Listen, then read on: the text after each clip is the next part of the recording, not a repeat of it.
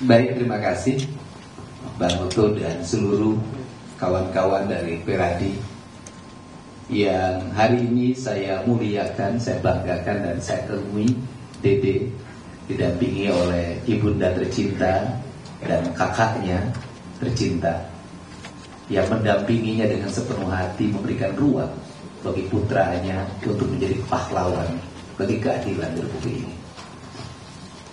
Air mata saya tidak pernah berhenti Kenapa? Yang pertama adalah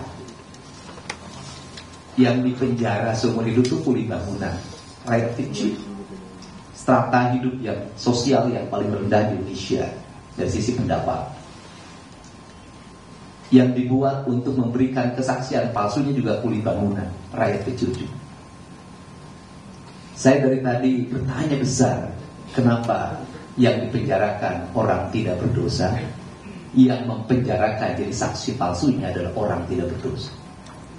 Kenapa rakyat kecil selalu jadi korban dalam setiap kepentingan perorangan? Pasti ada pertanyaan besar. Kenapa mereka tidak bersaksi? Kenapa mereka 8 tahun bungkam? Problemnya itu hanya dua setelah saya telusuri. Yang pertama adalah mereka punya rasa takut yang tinggi karena tidak adanya pendampingan hukum bagi mereka. Mereka merasa kalau muncul siapa yang akan jadi pembelanya harus bayar dari mana uangnya. Yang kedua, mereka juga rasa takut apabila berurusan dengan hukum, berurusan dengan penegakan hukum. Mereka kehabisan waktu untuk memberikan kesaksian di berita acara mereka kehabisan waktu untuk menjadi saksi di pengadilan. Waktu itu bagi mereka adalah uang untuk beli beras. Waktu mereka adalah uang untuk beli token listrik. Waktu adalah mereka uang untuk bayar anak-anak sekolah mereka. Dan waktu adalah uang untuk kehidupan mereka dalam setiap hari. Perjalanan ini Bang Betul bukan hanya perjalanan hukum material, saya memandang dari tadi ini adalah perjalanan spiritual saya. Mungkin beda orang memahami spiritual. Spiritual apa yang saya dalami? Yang pertama, kenapa saya menangis? Saya itu bertanya dalam setiap hari, Ya Allah, kenapa saya harus berpisah dengan anak saya? Saya harus berpisah dengan keluarga saya. Hari ini Allah menjawab, kamu berpisah dengan anak-anak kamu biar kamu sendiri dan punya waktu untuk menghabiskan waktu untuk sebuah penelusuran peristiwa yang pada akhirnya tiga bulan berakhir hari. Mungkin kalau hari ini saya duduk dalam sebuah keluarga, tiap hari pergi ke mall, jalan-jalan, saya tidak akan menemukan kasus dan saya tidak akan turun. Saya menikmati hidup dalam sebuah keluarga. Yang kedua, kasus ini adalah peristiwa seorang ibu. Saya orang yang sangat mencintai ibu saya dan ibu saya selalu hadir dalam kehidupan saya. Sehingga saya memahami betul bahwa seorang ibu memiliki rasa yang sangat kuat.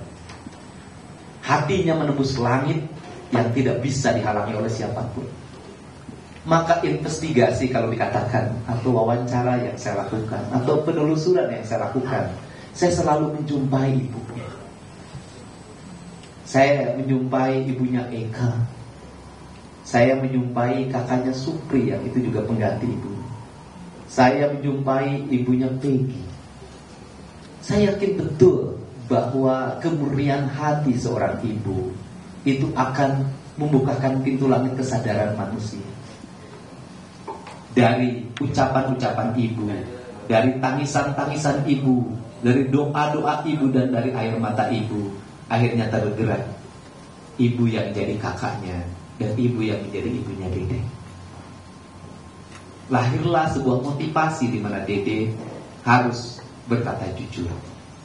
Dan hari ini Dede berkata jujur.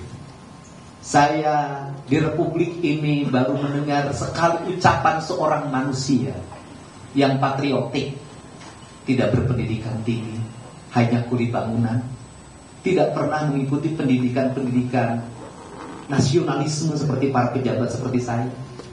Tapi dia berkata bahwa saya mau dipenjara menggantikan mereka karena saya telah bersalah mempenjarakan mereka. Biarkan mereka bebas dan saya masuk dalam penjara itu. Sebentar lagi kita akan ada, ada upacara 17 Agustus. Dia adalah pahlawan di era ini. Dia adalah patriotik di era ini dan dia adalah kesatria di era ini. Untuk itu kepada para kesatria kita harus merasa malu ada kesatria yang sebenarnya. Kemudian yang berikutnya bagi saya pribadi Bang Oto dalam seminggu ini adalah seminggu derita sebenarnya dalam penelusuran kasus ini. Karena saya mendapat bulian yang luar biasa. Mendapat tuduhan suap beragam. Pada niat saya cuma satu. Saya ingin kasus ini tidak melebar ke mana-mana, tidak menuduh orang yang tidak bersalah, tidak membawa nama siapa pun yang tidak ada kaitannya tujuan saya. Tetapi karena halusinasi, imajinasi, cocok logi, membakar pikiran orang di media sosial, sehingga menjadi ke mana-mana. Dan rupanya, air mata saya ketika malam, itu terjawab hari ini. Seluruh bulian itu dijawab dengan datangnya Dede. Dan bagi saya, kedatangan Dede adalah pelipur lara hidup saya dan membuat hidup saya bahagia dan berarti pada Kemudian yang berikutnya banyak yang mengaitkan ini dengan dunia politik. Saya katakan, berulang-ulang di depan Pak Yutek, saya katakan, penelusuran saya terhadap kasus Eki dan Tina dan terpenjaranya tujuh orang dengan hukuman penjara seumur hidup bagi saya jauh lebih berharga dibanding dengan hanya urusan politik. Karena ini jauh lebih berharga, ini lebih memiliki nilai kemanusiaan. Dan saya cuma satu dalam hidup saya, ingin punya catatan. Saya memang bukan pengacara, saya bukan jurnalis, saya bukan alat penegak hukum. Tapi saya ingin punya catatan bahwa dulu pernah ada orang yang terbebas dari penjara seumur hidup. Dari tayangan channel YouTube yang saya kelola. Dan itu bagi saya adalah perjalanan indah dalam hidup ini. Untuk itu saya mengucapkan terima kasih pada keluarga besar Peradi, pada para netizen di seluruh Indonesia dan di luar negeri, kemudian keluarga para terpidana yang mau sabar, kemudian juga keluarga Sakatata yang hari ini akan memasuki PK, kita doakan juga PK-nya dikabulkan, dan pada media yang hari ini terus kritis dan bersikap objektif agar keadilan negeri ini terungkap.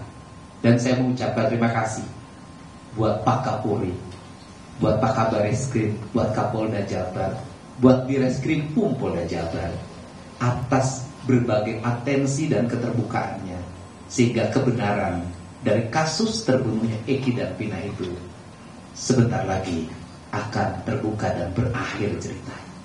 Saya ucapkan terima kasih buat Pak Joko Widodo Presiden Republik Indonesia dan buat Pak Prabowo Subianto yang menjadi spirit dalam kehidupan saya dengan sebuah kalimat yang selalu terngiang dalam pikiran saya. Bantulah banyak orang apabila kamu mau mampu membantunya. Apabila tidak bisa membantu banyak orang, bantulah sedikit orang. Apabila tidak mampu membantu sedikit orang, bantulah satu orang. Apabila tidak mampu membantu satu orang, jangan bikin susah orang. Semoga keberadaan saya tidak membuat orang susah. Terakhir penekanan saya adalah negara ke depan harus melindungi kesejahteraan publik. Karena dari rakyat yang tidak sejahtera itu membuat mereka tidak bisa berkata objektif. Untuk itu, apa sih yang mereka gelisahkan ketika ada sebuah kasus? Takut kehilangan pekerjaan, takut anak-anaknya tidak sekolah, takut tidak kebeli beras. Ketika kita tampil untuk menjamin berasnya, menjamin ongkosnya, menjamin kehidupan anak-anaknya, mereka pada akhirnya akan bicara yang sebenarnya. Itulah bedanya rakyat kecil dengan kita yang besar. Kalau yang besar sudah cukup, tetap tidak jujur. Itu saja. Saya ucapkan terima kasih untuk semuanya.